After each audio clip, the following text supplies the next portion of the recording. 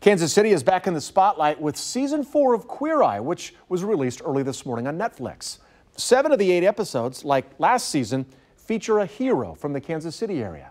And our Leslie Aguilar caught up with one of them. Wesley Hamilton's story is one of turning pain into purpose. I truly believe that my episode is going to inspire the world.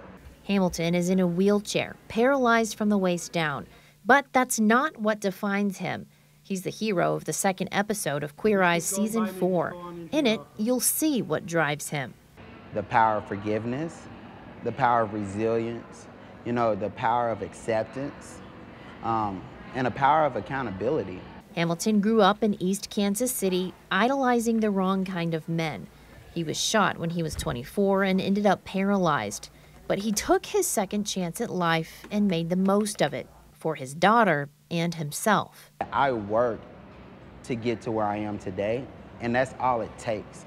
It takes a little bit of self-care, self-love, and you can get there. He says the Fab Five gave him confidence in areas of his life he didn't realize he uh, needed.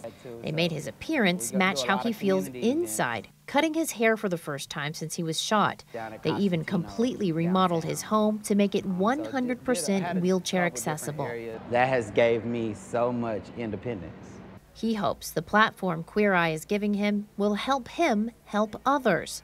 His nonprofit organization, Disabled But Not Really, is already changing lives in Kansas City. So it doesn't matter if you come through the door with a physical, mental, or emotional disability. If it's limiting you from being the best version of yourself, we can help you. Leslie Aguilar, KCTV 5 News.